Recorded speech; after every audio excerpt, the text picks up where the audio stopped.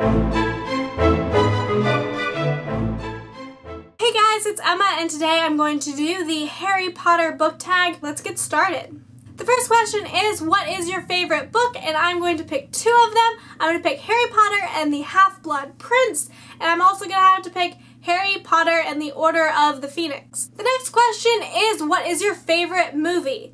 Again, this is a tie between two, and I'm going to have to pick Harry Potter and the Half-Blood Prince and Harry Potter and the Goblet of Fire. For the next question, it is what is your least favorite book? And that's really simple for me. That would be Harry Potter and the Sorcerer's Stone. The next question is what part of the books or movies made you cry? Honestly, there were several parts, but just to give you one, it would be when Dobby died. It was so sad, and I was just like bawling. Tears were going everywhere. I was crying a river, and people are like, What's wrong with you? I was like, you don't understand, Dobby just died. I'm sitting in the theater and I'm like bawling. And to this day, every time I see that part where Dobby dies, it's just waterworks. So that is just one of the many times that Harry Potter made me cry. That's probably the most severe is when Dobby dies. Next question is if you could hook up with any Harry Potter character, who would it be? Okay, I have three answers for that one because I cannot pick one. Draco Malfoy, Viktor Krum, and Oliver Wood. Any of those three would be just fine with me. So, there you go. The next question is, who is your favorite character? Again, I cannot just pick one, so I'm to have to go with Dumbledore and Ginny Weasley.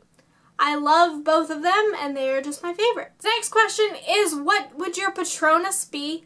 Honestly, I have no idea what my Patronus would be. Um, I used to really like owls. I used to collect little cute owls. Um, so I guess I would have to say an owl. Maybe a fox. I like foxes. I have no idea. So, comment down below what you think my Patronus would be. The next question is, would you rather have the Resurrection Stone, the Invisibility Cloak, or the Elder Wand? Well, guys, I already have the Invisibility Cloak. So, I don't know. Maybe the Elder Wand would be cool? Okay, let's be real here. My answer would definitely be the Cloak of Invisibility. How cool would that be? Like, out of the three, that is by far the best one. You can be invisible. You could play pranks on people, and you could walk around places you're not supposed to be at, and all that sorts of stuff. The Cloak of Invisibility would just be so useful. So I'm picking that one. The next question is what house are you in? I have taken pretty much every single quiz out there. I've taken the Pottermore quiz, quizzes online, and everything, and every single one of them says I am a Slytherin. So I'm going to go with Slytherin.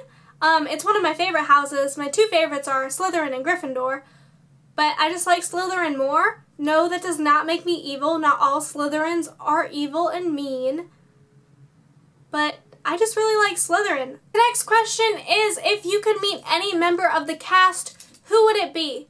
Okay, so again for that one, I have two choices that I would pick.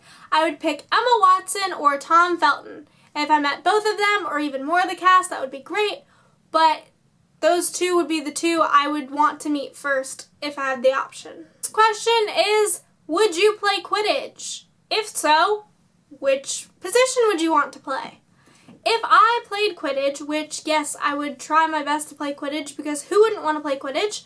I would want to be a chaser probably because I don't know, I just really like the chasers. I think they're cool. And so I would want to be a chaser. That is the end of the Harry Potter book tag. I hope you guys enjoyed this.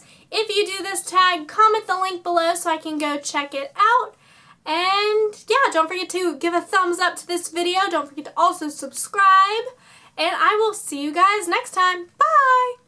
Bye!